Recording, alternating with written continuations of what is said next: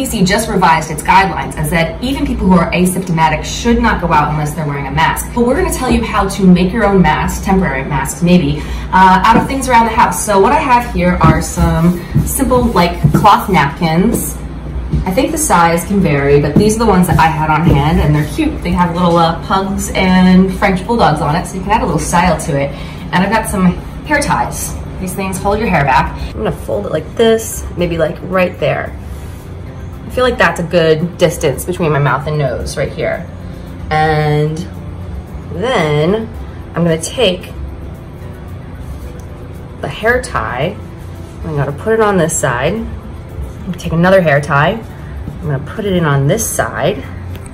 And now I'm gonna like fold these over a little bit like this. And see how like you got these things over here. It's already starting to look like a mask a little bit.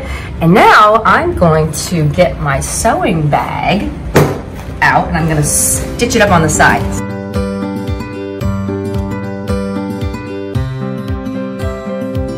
So for any of you first time sewers out there, no judgments. What I would have done in the past is maybe put my mouth on this thread to get it to go through here easier, but I'm gonna not try to put anything in my mouth right now that doesn't need to go in there. So I'm gonna try to dry string this needle right here, which could be the tough, oh God, good, got it.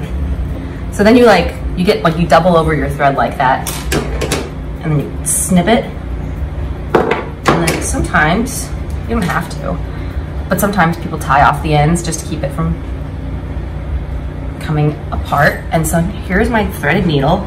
So with my mask here, I'm going to try and just do a simple stitch. Again, we've got this light thing kind of in here.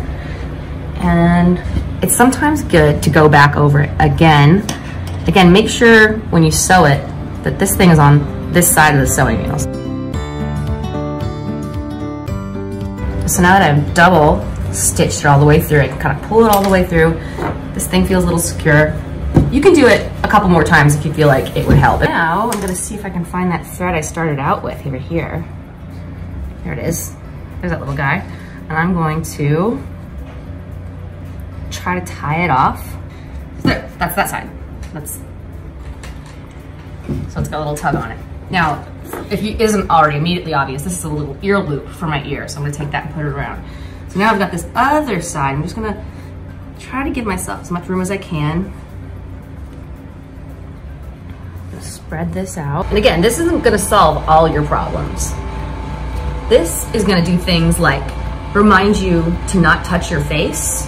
This is gonna do things like just let other people know that you're taking this seriously. And I think we also need to talk about a little bit of removing the social stigma from wearing masks in public. Sometimes I feel like uh, I would not want to wear one because I would feel that people think I'm already sick or I would just look silly. But I think it's good to remind yourself that this may be where we're all headed and uh, it's okay to wear a mask in public. There you go.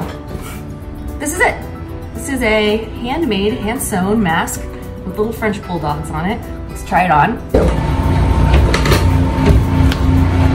But uh, it's staying on my ears and this is uh, this is great. If I wear this, I feel like I'm not gonna touch my face as much.